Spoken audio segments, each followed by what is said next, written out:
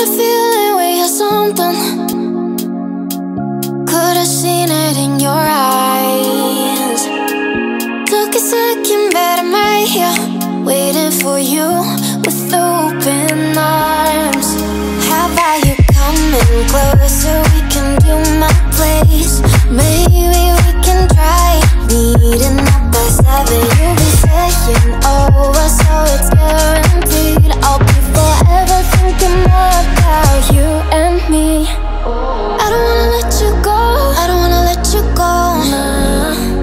To. tonight?